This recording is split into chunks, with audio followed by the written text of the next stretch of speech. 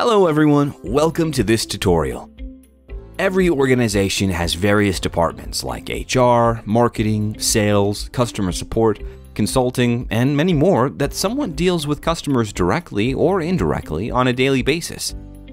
These departments need to maintain a list of the customers under various sections and segmentation with all the relevant details for carrying out the businesses.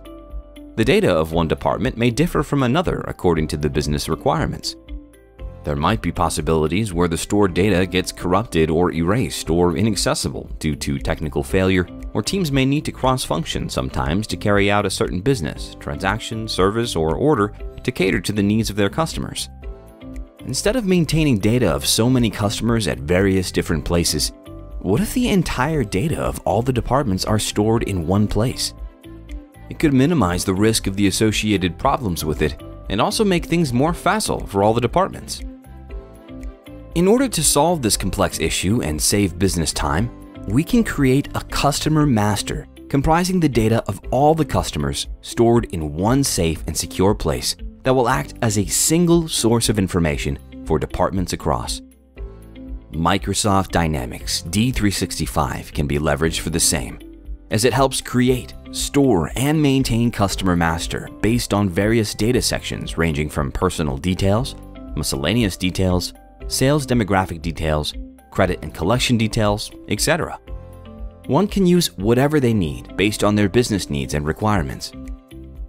In this tutorial, I will walk you through how to create a new customer in D365 based on general details, followed by subsequent tutorials on various other sections that will cover things like miscellaneous details, sales demographics details, credit and collections details, etc and how it can efficiently be used as a single source of information.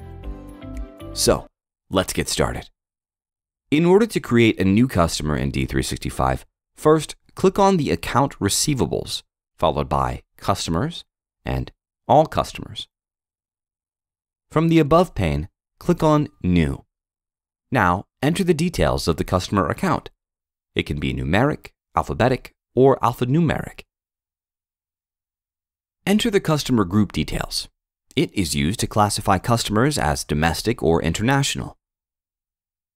For the customer we choose from the drop-down menu, the corresponding terms of payment are automatically selected.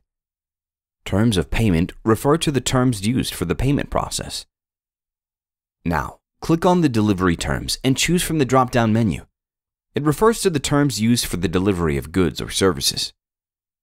Select the mode of delivery from the menu it could be rail or air. These are not mandatory fields.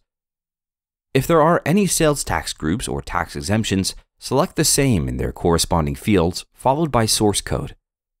Companies that produce printed catalogs can use these source codes to track the customer response to catalogs. Source codes are often printed on the back of a catalog and are entered in the sales order when a customer makes a purchase. In the next tab, Enter the address like country, postal code, street, city, state, and contact information like fax, phone, and email ID of the customer, and click on Save. The test customer has been created now.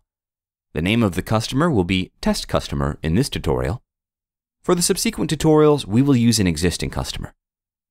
With this, we have come to the end of this tutorial. I hope you have understood all the steps and methods involved in this process. Thanks for watching, and stay tuned for the next tutorial where we will discuss credit and collections, payments, and financial dimension sections.